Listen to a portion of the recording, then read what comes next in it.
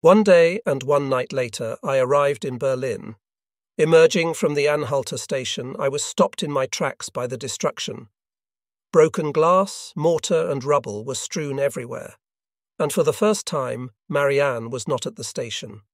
Intending to call on Marianne at her office, I boarded a streetcar bound for the centre of the capital. That ride was appalling. Large sections of the city had almost been levelled by the saturation bombings, leaving rubble, dust, and a million tragedies. I felt as if the bottom were falling out of my world. I felt like running away and leaving the city on the next train. But I eventually reached the spot where Marianne had worked. That is, where her seven story office building had once stood. Only a few walls had remained. Bricks were piled up two stories high. I turned away from the devastation searched for and found the nearest subway stop, then took the express train to the suburb where Marianne lived with her parents. Leaving the station on foot, I saw here and there a home burned to the ground, an apartment house collapsed. It seemed that death and destruction were following me. As I neared Marianne's home, I braced myself against a reality I already sensed. Then I was standing before the heap of charcoal that had been the house, its chimney poked into the air like a warning finger. Around it lay smashed bricks and blocks, black with soot, steel beams bent in the heat of the fire, jumbled debris of all sorts. Then I saw the signs stuck in the rubble. Somebody had written in red, All members of the Hardenberg family are dead. I read it two or three times before I turned away. I was unable to comprehend. Something acrid burned in my throat. I swallowed repeatedly. Then my heart suddenly hardened. At that moment, all in me was dead burned out like the homes. I was without emotion. The next express carried me back home to Frankfurt. With Marianne's death preying on my mind, I spent four aimless days in Frankfurt. I also spent one night in the cellar of our apartment house, listening to the screaming sirens and the bellowing of the flak, shaking to the tremors of the exploding bombs, and looking into the serious, stony faces of people who accepted the raid as a routine event. When it was all over, the night was filled with the caustic stench of cordite, the moans of the wounded, and the bells of the fire brigades. This was what the war had come to that my Marianne was an air raid victim, that my family had grown accustomed to living underground in fear of their lives. After that night, there was nothing left for me at home. I had to return to my boat and fight the war at sea to a successful end for the sake of those who remained at home in anguish and dread. After a night on a darkened train, I arrived in Paris. The city breathed peace, and the hot June sun gilded the trees and rooftops. The heat made my uniform uncomfortable and set me to thinking about the advantages of civilian clothes, how I would enjoy pretending to be a part of the sophisticated Parisian crowd, which did not care about the war one way or the other. There I noticed that the most elegant Parisians paid no attention whatsoever to men in uniform. I realized how far I was from their lives of splendour, beauty, and charm. How deep was the gulf between the peaceful crowds in the city and us on the front, who had no choice but to sail and fight and die. I arrived in the compound in Brest late in the evening and found Riedel and my other friends in high spirits in the flotilla's bar. I joined their merry party, and we made the bar tremble with our rough exuberance and echo with our ribald sea chantes. This was what we all needed to help us forget that our number would soon be called, that we all had but a short reprieve to sing and drink. This was what I needed to counteract the twin shocks of Marianne's death and father's trouble with the Gestapo. I needed my friends, strong drinks, and the excitement of the wanton life to bring me sweet forgetfulness. I also needed duty and hard work. In the days that followed, I had all these and more in abundant supply. I quickly adjusted to the old routine, made my daily trips to the shipyard, took a firm hold of the crew. Only one man caused me any real difficulty.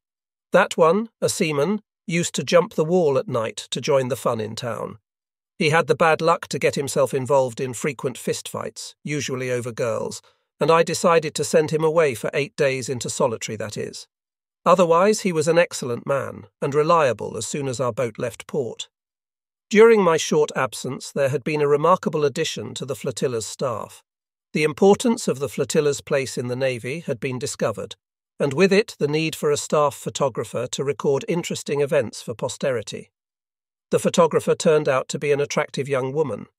Her casual good morning prompted me to issue an invitation to a drink. As soon as we sat down at the bar, I said, You have a very familiar southern accent. Yours is not exactly Berlinish either, she retorted with a smile. I admit that. I grew up on Lake Constance on the North Shore. What a coincidence, she said. I lived across the lake in Constance. I am Veronica. Everybody calls me Vera. I invited Vera for dinner, and she accepted without thinking it over. After my day's work was done, I took a swim in the pool, which was another new addition to the compound. Then it was time for our rendezvous.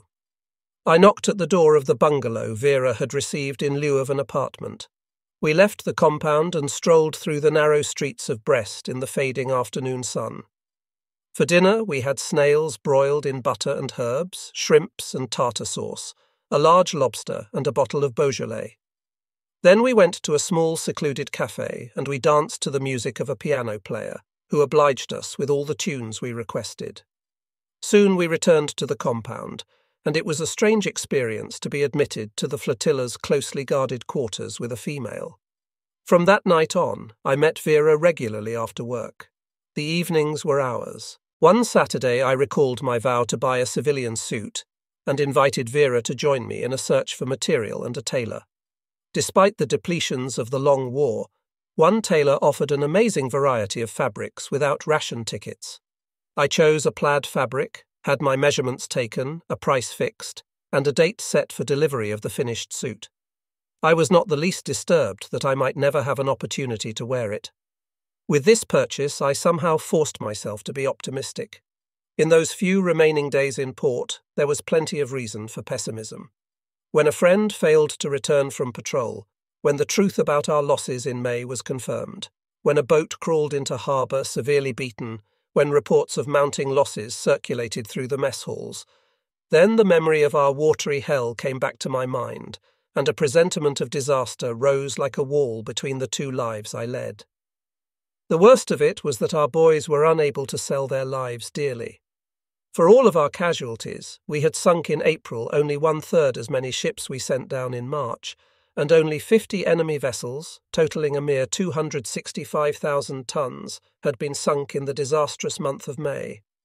As of mid June, the U boat war had come to a virtual standstill. Sixteen more boats had been lost in a fortnight, and Admiral Dönitz had called for a temporary halt in our attacks on the shipping lanes of the North Atlantic. The surviving boats were redeployed but not withdrawn from the front.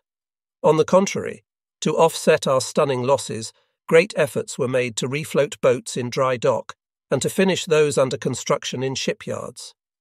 The idea was that every boat we had, even the unsound and outmoded ones, should be put into action to show the Allies that our back had not been broken. Dönitz, in a speech he made in Lorient, assured us that our battle reverses were only temporary, that the tide would be turned by our countermeasures, but that in the meantime we would have to go on sailing.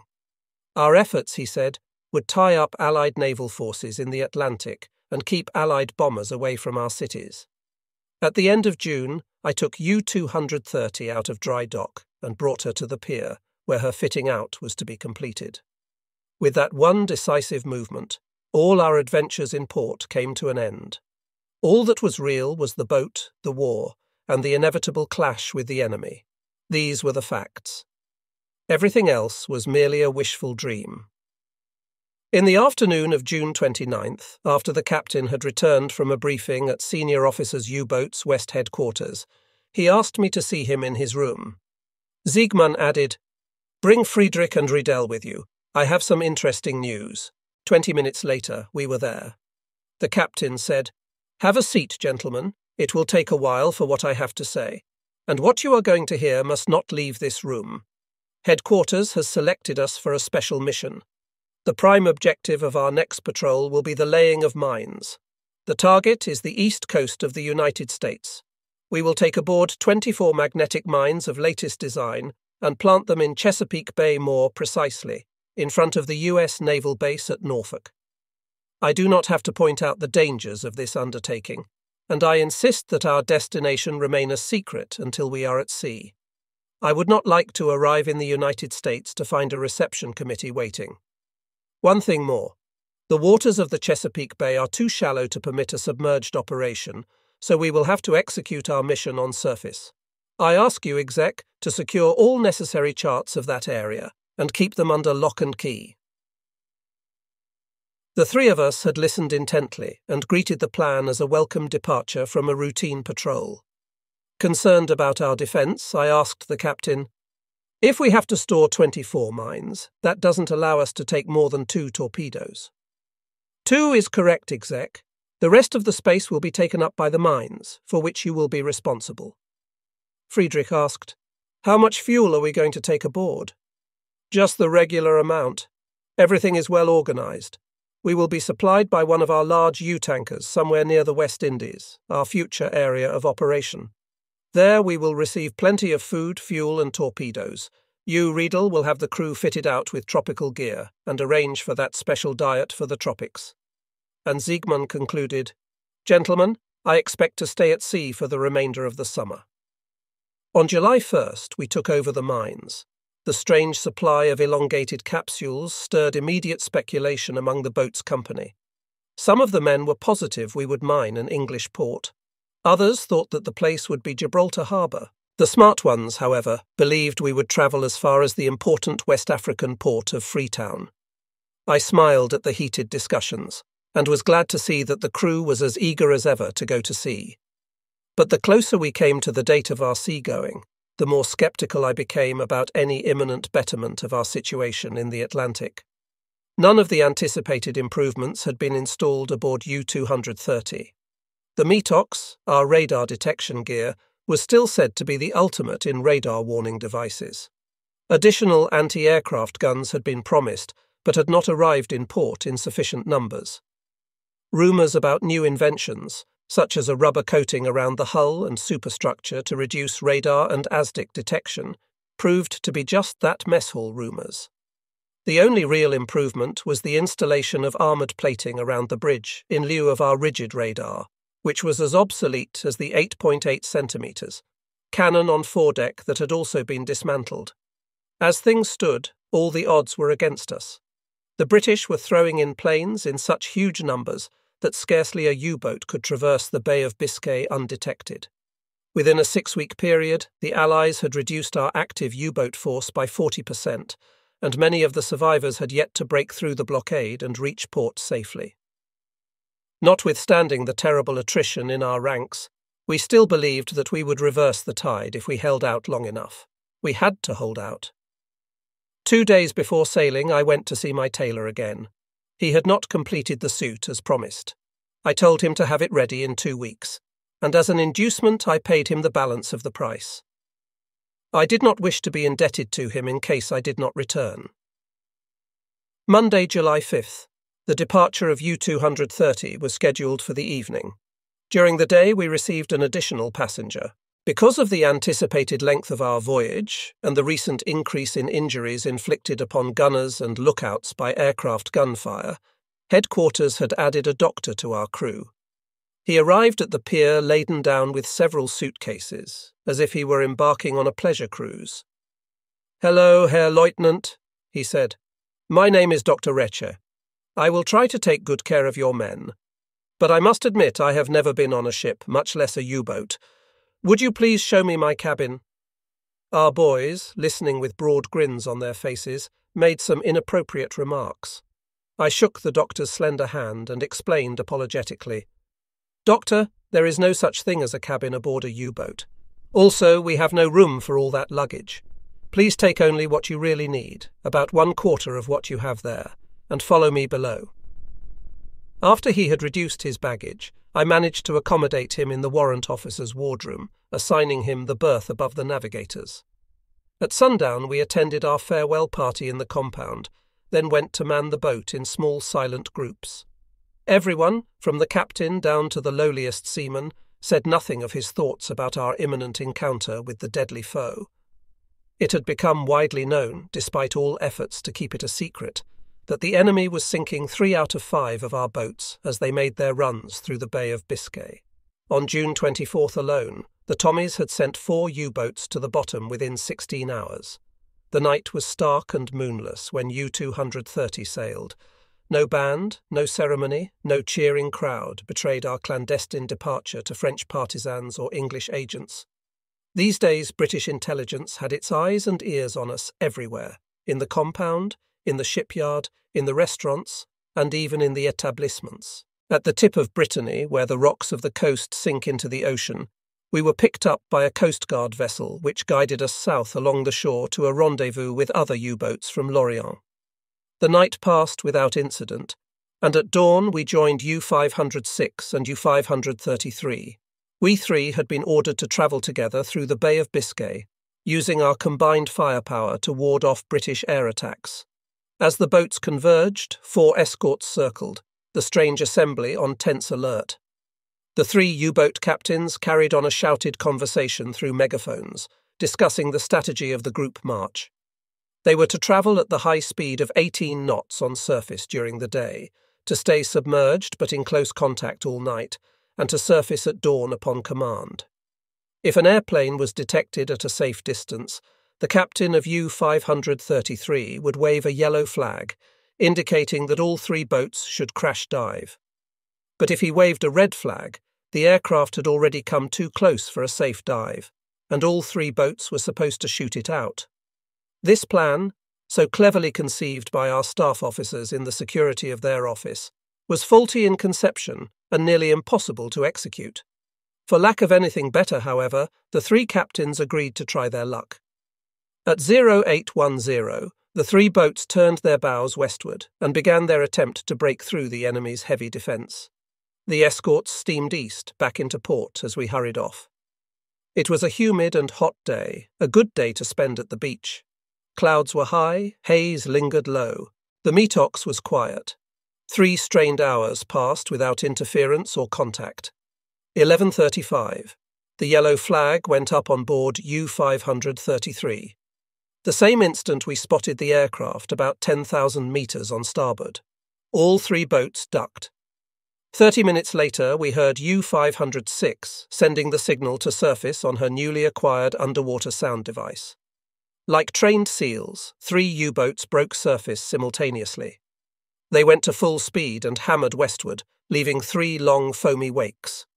1310. A Liberator shot out of the cloud cover, distance 3,000 metres, too late to dive. The red flag went up at once, and on all decks the guns were manned.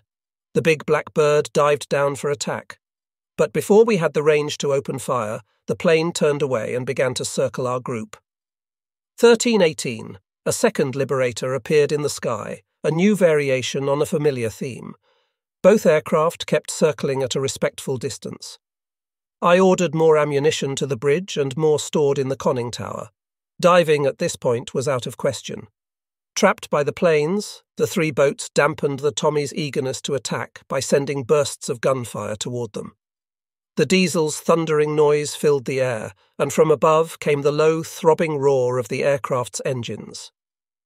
1325. A Sunderland dived through the clouds and joined the two liberators in their circling. Its appearance reduced even further our meagre chances for escape. 1332. With the arrival of a third Liberator, the fourth aircraft, our chances sank to zero. Our patrol, only a few hours old, seemed to have come to a premature end. We waited for the assault with only a small spark left of the confidence with which we had sailed. 1340. A Liberator plunged into attack. The guns of three U boats blazed at the pilot, who seemed insane to fly into our concentrated fire. But quickly a second Liberator fell upon us from the opposite side, forcing us to divide our firepower. All three boats began wild zigzag movements to spoil our attacker's aim. One of the planes, diving down on U 230 with flames spurting from its gun barrels, dropped its bombs and roared by, missing our bridge by only three metres. Four explosions, four giant geysers. One man on our lower gun sagged and fell to the deck. Another replaced him. Moments later, four more fountains erupted around the tower of U 506 as the second plane cut through our firing line. We lowered the wounded gunner into the boat and heaved fresh ammunition to the bridge. Suddenly, U 506 dived. The four Tommies, seeing their chances, flew a combined attack. Then something unexpected happened. U 506 returned to the surface immediately, and some men jumped to the guns. The boat made a sharp turn to port, avoiding the bombs dropped by the Sunderland. The explosions boomed between the bellowing of our flak and the plane's stuttering guns and the roar of our diesels and the thunder of aircraft engines. The sea fumed from multiple exhausts and foamed from bomb bursts. The air shrieked with shrapnel and bullets ricocheting off our armour plating. Rising from its dive, the Sunderland caught a burst, shuddered, and fell slowly into the sea. After the Sunderland had crashed, its comrades retreated. That was the moment we acted. With racing engines, the three U boats ducked in an instant and dived. We were not quite down in safe depths when the tremor of detonating bombs told us that the British had not yet given up. That was the end of our plan to travel in a group through the Bay of Biscay. Our contact with the two other boats was soon lost. Neither of the two reached port again. U 506 was sunk six days after the encounter, and U 533 was destroyed 12 weeks later, both victims of Allied air attacks. Dr. Reche, shaken by fear and seasickness, managed to treat our one casualty, who had been shot in the upper right thigh. Luckily, the bullet had passed without smashing any bones. Reche bandaged the gunner with greatest difficulty, and when he had finished, he crawled into his bunk, himself badly in need of help. Day and night, the pursuers continued to bombard us savagely. We were hunted, persecuted, and almost driven insane.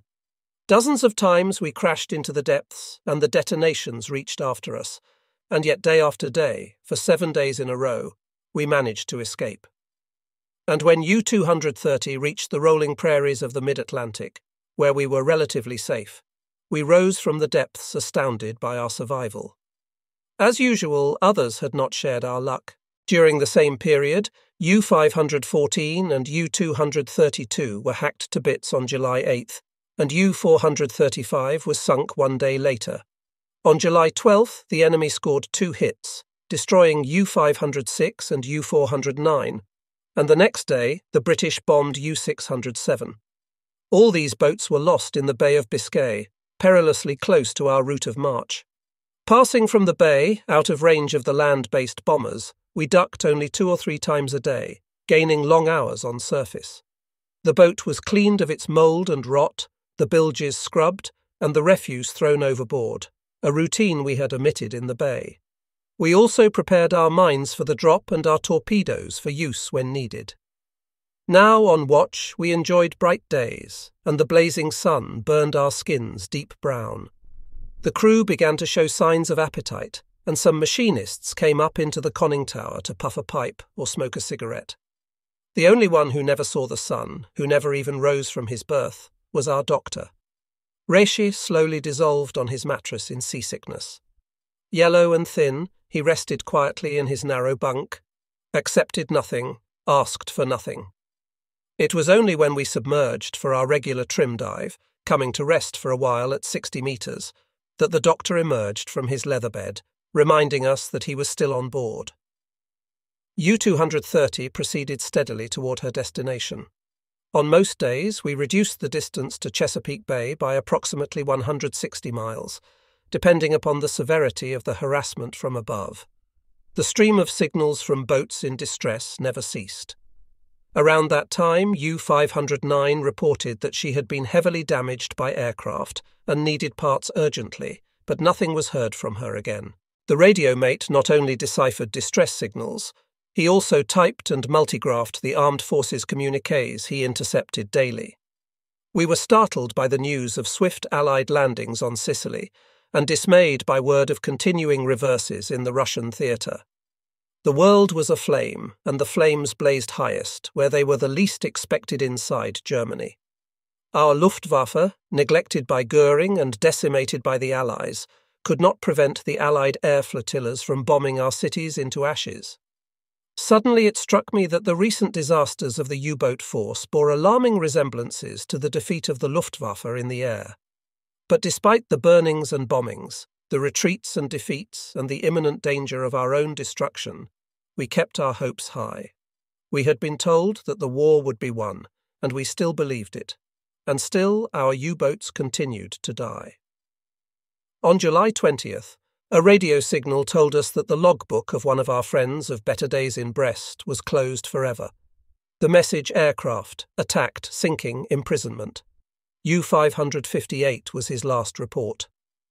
The following day, we sighted a Catalina, a two engined flying boat. We dived swiftly and stayed submerged for two hours, forcing its pilot to give up the chase. When we surfaced late in the afternoon, the sky was congested with heavy dark clouds. We took advantage of the storm front and raced at high speed into the evening. The night descended, but it was soon turned into day. Lightning flashed across the firmament. Dozens of bolts at a time stabbed perpendicularly down from the sky to the ocean, rose from the surface in agitated zigzags to pierce the clouds. Hour after hour, the lightning slashed forth and back, up and down, keeping the sky ablaze with the light of a billion torches, and the vast artillery of thunder burst and rolled and roared. The air reeked of phosphorus and made our eyes burn. After five full hours of lightning and thunder, the rains came.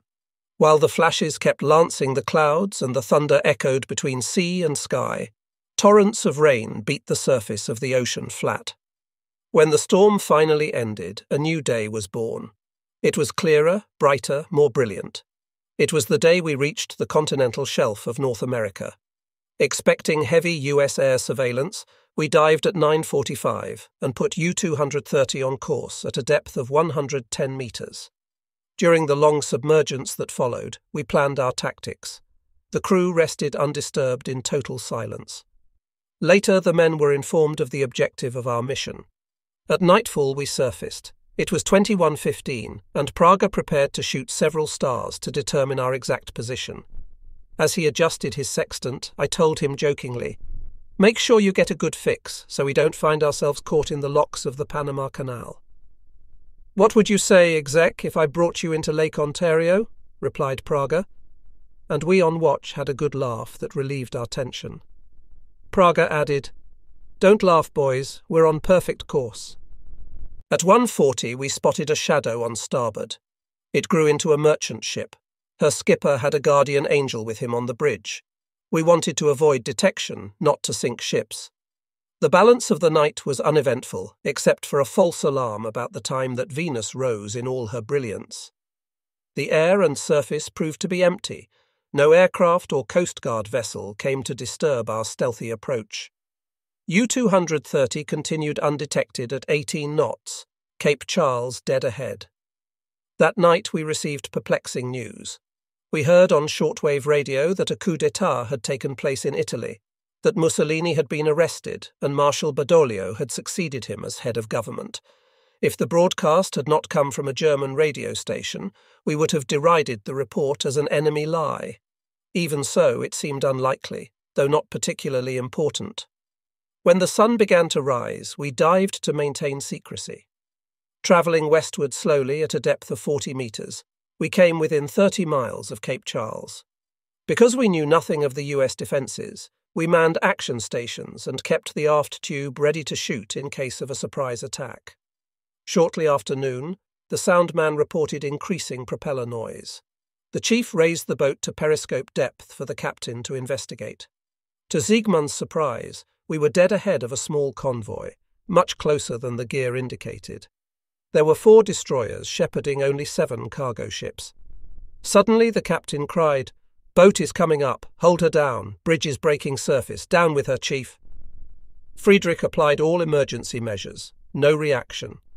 What the hell is wrong with this sloop? Dive, dive fast, hollered Siegmann. Valuable seconds passed as U 230 hung like a fish on a hook in full view of the escorts. Then, slowly, insanely slow, the boat drilled herself into a layer of heavy density water. Just as her stern moved into the specifically heavier stratum of water, a spread of six charges detonated in closest proximity. The explosions propelled the boat below the thermal shift, and her screws, turning in maximum revolutions, drove her downward until she touched the sandy bottom. The ASDIC pings released by the US destroyers chirped through the shallow water, but did not hit our hull with the usual force. The sound waves were largely refracted by the dense layer of heavy water above us. For almost two hours, the hunters nervously screened the depths, vainly seeking something to attack. Then they departed without spending one more depth charge on us. We surfaced at nightfall. U 230 pushed swiftly and relentlessly ahead. Three hours passed in apprehension and mounting excitement. Then, port ahead, a vague glow crept over the horizon, the lights of Norfolk. Minutes later, Borchert shouted, America dead ahead! We had reached our destination. Time, 23.25. Date, July 27th, 1943.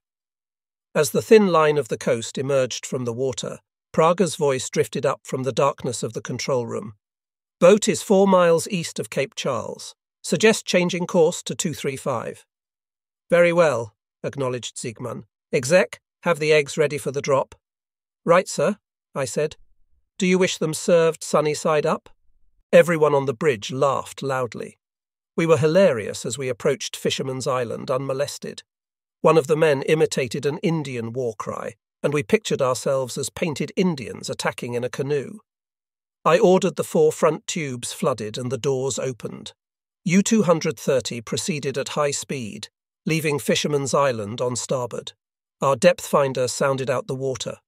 Praga took constant bearings. Our presence was still a secret.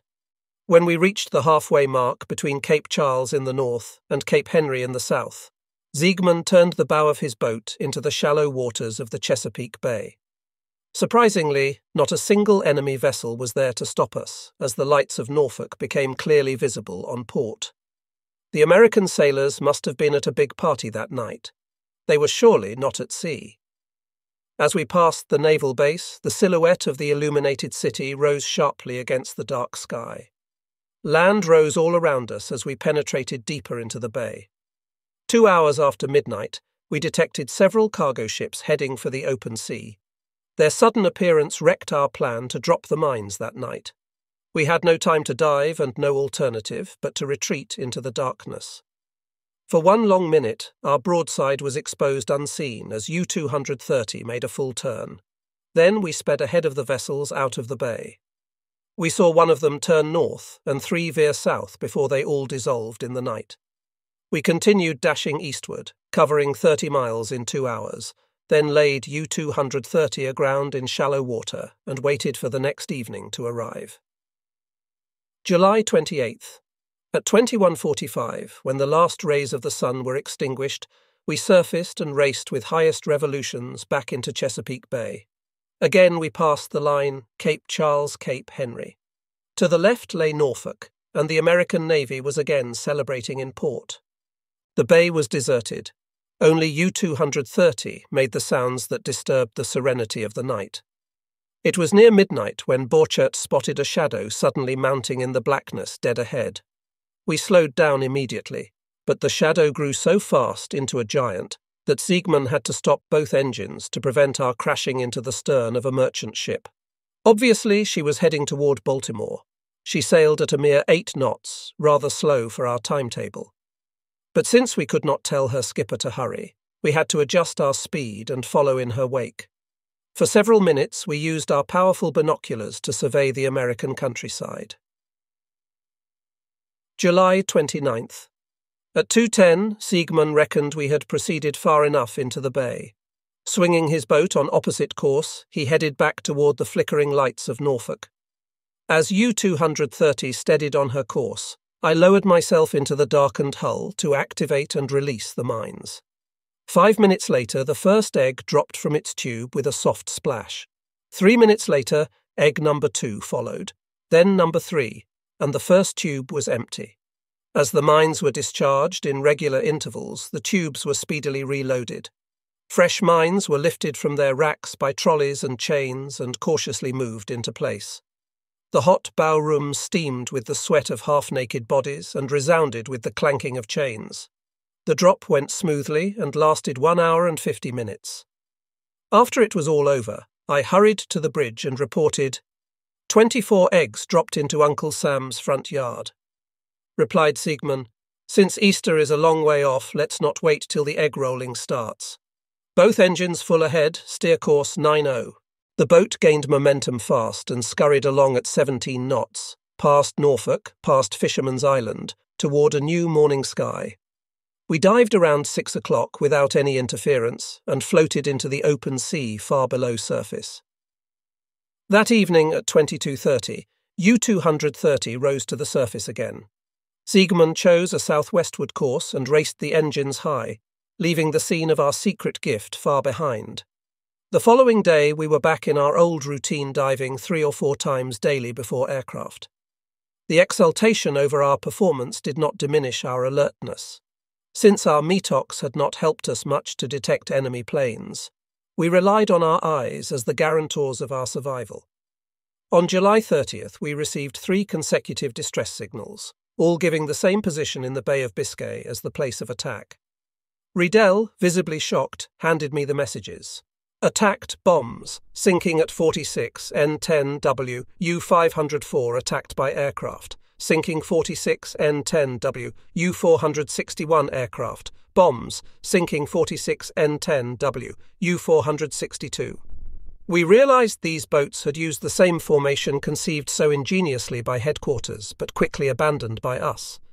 Knowing that they were large, unmaneuverable U tankers, we could easily picture the uneven fight. Unable to respond quickly or to support one another, they had probably lost the fight before they stopped waving flags as the Phoenicians did 3,500 years before. Not only had three boats died, their destruction drastically reduced our chances of being refueled at sea. The British air victory in the Bay of Biscay was matched by another one over land. For the third time, we heard on shortwave radio that Hamburg had been repeatedly bombed. The report said that the heaviest attack came during the previous night, when half of the city had gone up in flames. I saw Siegmann's face turn dead white at the news. He never touched his food that day. He stayed closed up in his nook behind the green curtain. We grieved for the captain. Every man aboard knew that his whole family lived in Hamburg his wife, his children, and also his parents. When the flames in Hamburg finally subsided, 41,000 people had died, and over 600,000 were left homeless. August 1st. Having put some 400 miles between us and the Chesapeake coast, we risked sending a report to Admiral U boats. Special mission completed. Request new orders. Low on fuel at 27 and 68 W. Three hours after our transmission, two four engined aircraft fell suddenly out of the sky. We crash dived in confusion. Depth charges exploded all around us. That day we dived four more times, and it was obvious that our radiogram had sparked a massive US air hunt. After dark, we received orders to continue south through the Caribbean to waters east of the Windward Islands. There we would refuel from U 459, one of our U tankers. Two hours later, Riedel deciphered a personal message from headquarters, U 230, Siegmann. Family safe, all well in the country, Dönitz. This signal did more for the captain and the crew than a decoration for the mining mission. We continued our march to the south with caution. The crash dives were routine, and so were the bombs. Then, on August 3rd, we received a message from headquarters, which had a greater impact upon our lives than any since the beginning of the Allied offensive. All U boats, attention, all U boats, shut off METOX at once. Enemy is capable of intercepting. Keep radio silence until further notice. This warning reached U 230 in time, but it came too late for some 100 boats that had been sunk before the discovery. We were suddenly aware that in our very effort to survive, we had used a device that revealed our position just as clearly as a lighted Christmas tree. For weeks and months, we had been sending out invitations to our own funeral. The knowledge was maddening and it made our survival all the more incredible. We turned off the METOX with a sigh of relief and continued south. However, our hope of reaching port again diminished when we learned that our tanker had not answered headquarters' repeated calls. During those early days in August to 43, U 230 was shifted three times for refueling. Each time the expected U tanker failed to arrive at the rendezvous, and we were left stranded. Whatever caused the mysterious failures of the U tankers, our situation grew steadily more perilous as the days passed and our fuel supply dwindled. On August 9th, our long, desperate wait was interrupted by a new tragedy, once again involving three of our boats. It began with a signal released from a boat that floated helpless some 400 miles east of Recife, Brazil, attacked by aircraft, damages, unable to dive. U 604. In an attempt to save the ship's company, headquarters ordered U 172 and U 185, which were in the vicinity of the stricken boat, to go to the rescue. There was radio silence for about 30 hours, then on August 11th, a signal crossed the Atlantic, attacked by aircraft, damages, U 172. Only minutes later, Liberator, attacked, sinking, U 604. In about an hour, we received a third message rescued crew U 604, downed aircraft, damages, U 185. Subsequent signals revealed that U 172 had also taken aboard survivors of U 604 and was hastily repaired with the help of U 185. Then the remaining boats began their 3000 mile march to home port. U 185 never arrived. She was lost on August 24th, herself a victim of air attack. By August 13th, U 230 was floating along with only two tons of diesel oil. Our position? About 300 miles east of Barbados. That afternoon, we received a fourth date to meet with a newly appointed supply boat, U 117, in Grid Square DP 64. The rendezvous was set for August 17th. In an effort to be both saving and secretive, we submerged during the day, sailing at low speed to conserve our batteries. And at night we travelled on surface at moderate speed, parting with every litre of fuel that went into the diesel engines, as if it were a drop of our own blood. Nevertheless, we arrived punctually in the designated area. We cruised slowly in a search pattern until we exhausted our fuel. Then, drifting helplessly, we sighted a black speck miles away. It came cautiously towards us. But instead of meeting with the tanker, we said hello to our old friend Dahlhaus of U 634, whose boat was also to refuel that day from U 117. U 117 never arrived.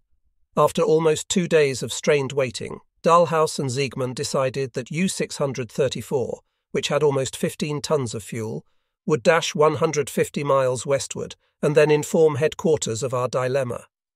Thus, we would be safe even if Allied forces picked up the signal and converged on its source. U 634 left us. We lay there motionless for hours, a sitting duck for any passing enemy. After ten hours of suspense, we intercepted Dahlhaus's SOS signal to Admiral U boats.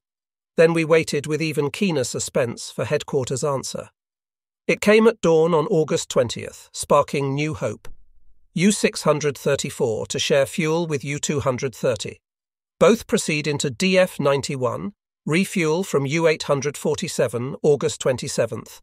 Return to base by shortest route. Dahlhaus finally returned after an absence of 46 hours. Rather than running the risk of refueling by daylight, both boats submerged and waited until the sun had curved across the sky. After dusk, we surfaced, received our share of fuel from U 634, and laid plans to meet Dahlhaus and the U boat tanker again in five days. Then the two boats separated. The nights were calm on our march eastward. During the day, we travelled submerged until we had reached the centre of the Atlantic, where the air traffic ceased. During the night of August 27th, we entered the square of our new rendezvous and began scanning the surface for familiar silhouettes. But it was morning before we spotted three conning towers in the quiet sea. As we converged, the superstructure of the huge supply boat, U 847, emerged from the ocean, increasing our number to five. We waved to U 634, greeted U 415, and sent our compliments to U 172, the boat that had rescued half of the crew of U 604. Any assemblage of five U boats was extremely dangerous, and we could only hope that the enemy had not learned of our meeting. U 634 and U 415 did not waste any time. They pulled alongside the supply boat and began sucking their allotment of fuel. Three hours later, Dahlhaus relinquished his hoses to us, and we began to draw aboard 15 tons of the precious liquid. Soon U 415 had received her share and made way for U 172. As U 415 turned away, we wished her a safe return to Brest. I would have added a prayer if I had been prophetic, for I was to become the captain of U 415 seven months hence. Knowing that we were helpless while taking the heavy oil into our tanks, our boys manned the guns and stood ready to cut the hoses instantly. Not so the crew of the supply boat.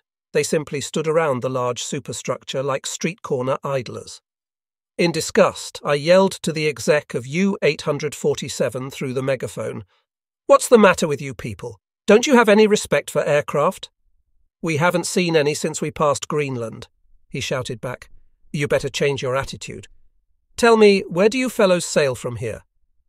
To Japan, he replied nonchalantly but after giving away 50 tons of fuel, I guess we'll only make it to Surabaya. Skeptically, I wished him good luck.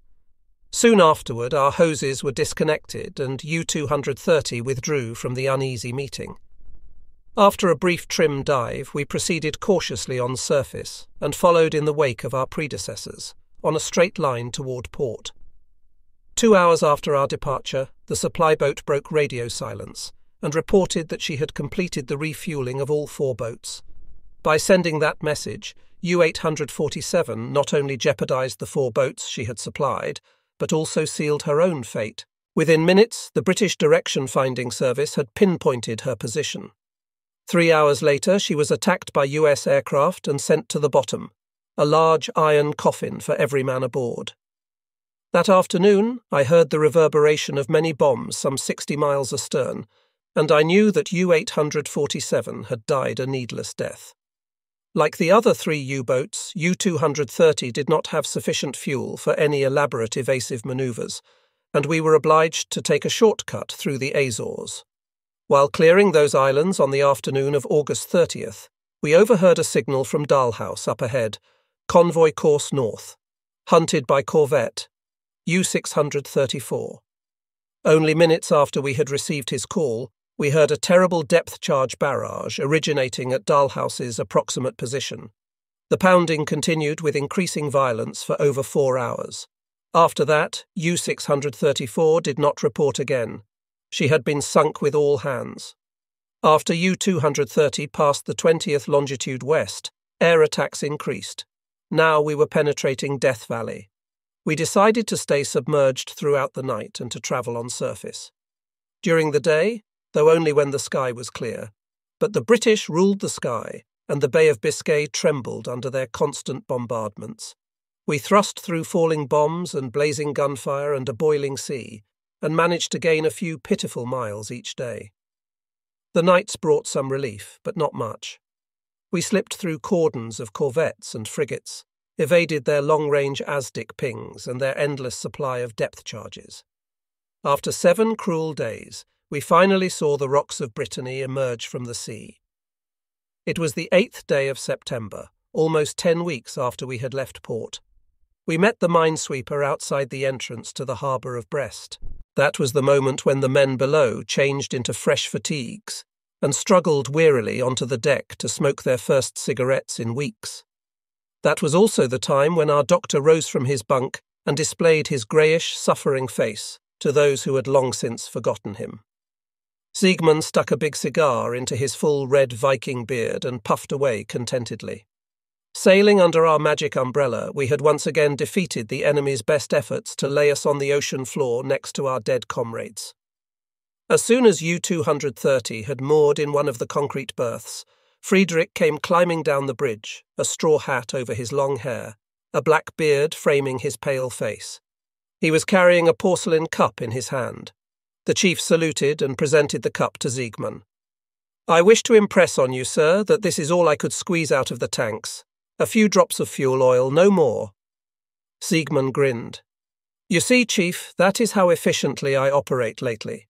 You have got to give me credit. I always provide a margin of safety. Our reception in Brest reflected the strained state of affairs and was overshadowed by the general dismay over our endless string of losses. The pier inside the large concrete bunker was dotted with a few men in navy blues. And two girls had found the time to greet us with flowers. The ceremonial meal at the compound was well prepared, but the mood of the feast fell far short of our former joviality. I soon retreated into my room and found my belongings neatly stacked on the floor. I withdrew my testament from the pigskin suitcase and tore it to pieces. So ended my longest patrol. Then came the ritual of reincarnation. I was reborn in a hot shower and fully grown by the time I was shaved and barbered. It was my intention to call on Vera. In my weeks at sea, I had plenty of time to make big plans for the evening, and even greater ones for the weeks to come. I was just remembering how to knot my tie when Fred Schreiber, my confederate in many a land battle, walked unsteadily into my room, carrying a half empty bottle of champagne. Well, well, he said boisterously. I see someone is preparing himself for a comeback. How long were you at sea? Ten weeks, you say? May I make just one bet? Go ahead, Fred, what's on your mind? I bet that she has run away with another fellow in blues. You can't desert your girl for ten weeks and expect to find her waiting. Here, have a drink with us, who have swallowed our chagrin over the infidelity of our girls. I resisted the temptation to tell him that things were different in my case, that a girl was waiting for me right here in the compound. Fred continued, Why don't you join us this evening? We are going to have a great party in the photographer's atelier, with plenty of girls, champagne, a band, and much more. Burke's girl is giving her birthday party, and everybody is invited. Had I heard right? Fred, who is the girl giving the party? Oh la la, you won't have a chance. It's Vera, the photographer. She and Burke have been going hot and heavy. That was the end of my fine plans. I took a glass of Fred's champagne and used it to swallow my chagrin. I told Fred I had made other arrangements, and as he left, I lit a cigarette and tried to dismiss my disappointment. After all, I had no claim on Vera, and a pretty girl in port was the target of many men who had the luck to be available. Vera probably never expected me to return. A U boat man's estimated lifespan on the front was but six or seven months, no more. Instead of going to Vera's, Riedel, Friedrich, and I celebrated our return with a gala dinner in the Sea Commandant, the restaurant that offered everything a hungry seaman could want. During the overhaul of our boat, great improvements were supposed to be made aboard. U 230 was to be equipped with two two barreled and one four barreled anti aircraft guns a measure long awaited. The firepower of those eight barrels would undoubtedly make any pilot think twice before diving close to drop his bombs. A new radar receiver, known as the Bug, was to be installed, replacing the obsolete Metox. I was told that the Bug would register wavelengths in the centimetre range. If so, it should give us ample warning against sneak attacks, especially at night for already our elimination of the Metox had forced the enemy to resort again to the detectable use of his radar. In addition, new torpedoes had been developed and were ready for use. These and other new weapons promised to change our luck in the U boat war, and the time for a change was long overdue. Thirty seven boats had been lost in July. Ten out of the seventeen boats that had tried to cross the Bay of Biscay in the latter part of that month never finished their dash. Then in August, 16 more boats had been destroyed. In a four month period, over 100 U boats had been sunk, almost 60% of the entire operative fleet. As a consequence, our destruction of Allied shipping had fallen from a high of nearly a million tons in March to a mere 96,000 tons in August. Many friends and familiar faces had vanished. The mess halls had many empty seats and little of the laughter of earlier days. We, who had so far been spared, had good reason to think that our faces might also be missing soon. Harbour routine swiftly replaced stress and strain. Our men kept busy, attending to their boat and to their girls with equal dedication. The captain departed for the obligatory report to Dönitz, and for a whirlwind tour through several classrooms to keep himself abreast of the rapid developments. Our doctor was released from U boat duty and sent into the Austrian Alps to recuperate from his near fatal adventure. Headquarters had finally abandoned the idea of staffing U boats with physicians. Most of the submersible doctors had perished in vain with their boats, and medical skills were desperately needed elsewhere. The new torpedoes promised for the next patrol meant that I would have to take a brief course in Gotenhafen on the Baltic. I accepted the unexpected interlude with relief. Before my departure, I found time to visit my tailor. He was surprised to see me again, for our calamities were no secret to the French. My suit was hanging on a rack. It was perfect. To complete my wardrobe, I purchased a gabardine coat, silk shirts, and smart, sporty shoes. It was the fourth year of war, but the French still could supply everything for the right price. I could afford to pay that price. There were no girls, no bars, no parties at sea. Five days after U 230 had returned from her mission, I was on an express to Paris, my civilian suit carefully folded in my pigskin suitcase. Upon my arrival, I returned to the hotel near Place de Vendôme and transformed myself into a civilian. It was the first time that I had put aside navy blues in four years. Now Paris lay at my feet. It pulsated with life, as I thought life should always be. My desire to bathe in an atmosphere of peace had grown steadily as the war dragged on. I wanted to join the fortunate ones who did not have to worry about tomorrows filled with roaring diesels and exploding depth charges and death in an iron coffin. I wished to forget that I was a cog in the war machine that had spread disaster far and wide. I wished to see life again not as a warrior, but as an innocent bystander, and to taste the feeling of complete independence from duty, if only for a day between trains. Only one place seemed to transmit the overwhelming sense of freedom and tranquility that I desired. Paris. Paris did not disappoint me. It was, as ever, enchanting. I felt the city's spell as people of many nations and eras had felt it. Free of the restrictions a uniform enjoins, I strolled contentedly through the streets and wide avenues, and I knew my disguise was a perfect one when I felt the furtive glances of those Parisian beauties who never condescended to look at a man in uniform. I was entirely divorced from the war for twelve pure hours.